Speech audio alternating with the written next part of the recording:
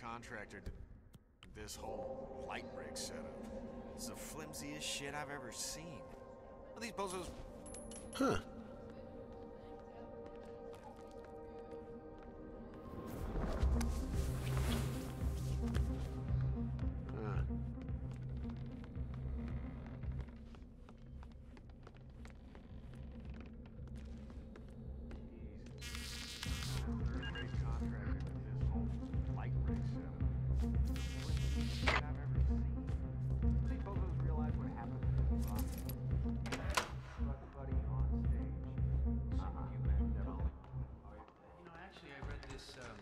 Book about the fashion industry.